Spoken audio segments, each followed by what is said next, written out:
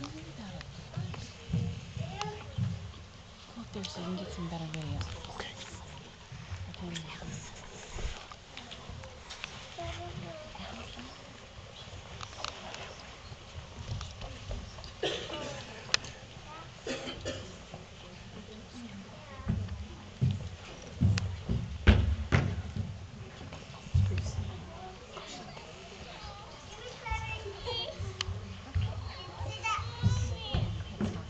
It was the night before Christmas when all through the house not a creature was stirring, not even a mouse. The stockings were hung by the chimney with care in hopes that St. Nicholas soon would be there. The children were nestled all snug in their beds while visions of sugar plums danced in their heads. And Mama in her kerchief and I in my cap had just settled down for a long winter's nap.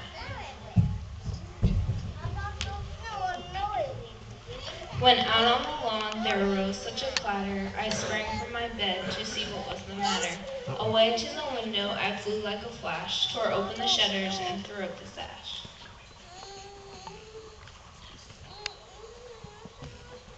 The moon on the breast of the new fallen snow gave the luster of midday to objects below, when what to my wondering eyes should appear but a miniature sleigh and eight tiny reindeer. With the little old driver so lively and quick, I knew in a moment it must be Saint Nick. More rapid than eagles, his coursers they came, and he whistled and shouted and called them by name. Now Dasher, now Dancer, now Prancer and Vixen, on Comet, on Cupid, on Donner and Blitzen, to the top of the porch, to the top of the wall, now dash away, dash away, dash away all. As dry leaves that before the wild hurricane fly when they meet with an obstacle amount to the sky, so up to the housetop the coursers they flew with a sleigh full of toys and Saint Nicholas too.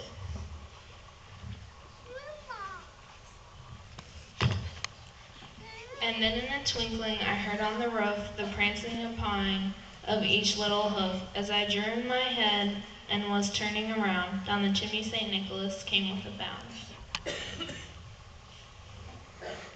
He was dressed all in fur from his head to his foot, and his clothes were all tarnished with ashes and soot.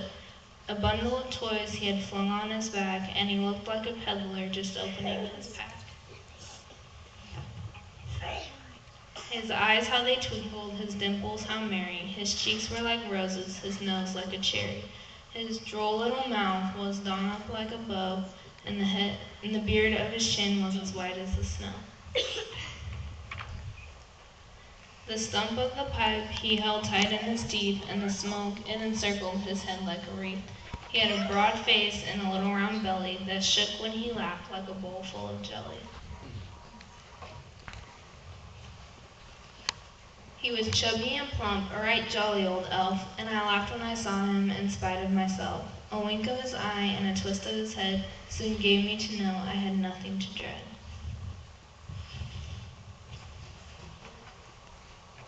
He spoke not a word, but went straight to his work, and filled all the stockings, then turned with a jerk, and laying his finger aside of his nose, and giving a nod, up the chimney he rose. He sprang to his sleigh, to his team gave a whistle, and away they all flew, like the down of a thistle. But I heard him explain, ere he drove out of sight, Merry Christmas to all, and to all good night.